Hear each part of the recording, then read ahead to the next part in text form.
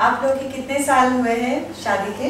अ, तो अभी हमारा 2020 में 25 साल पूरे हुए हैं। ये 25 साल भी हमारे बड़े मज़ेदार निकले क्योंकि हम लोग दोनों म्यूज़िक में हैं। ये सितार बजाती हैं और मैं गज़ल गाता हूँ।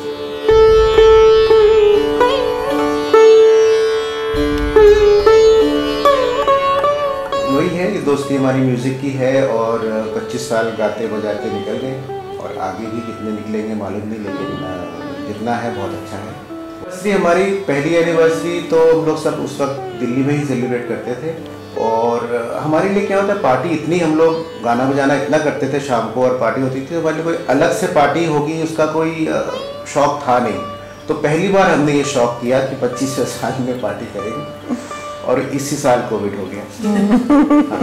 But never mind life goes on as he said कि 26th उसमें मनाएँगे 25th का। So our journey is totally music और हम गाते गाते ही बस रहे दुनिया में।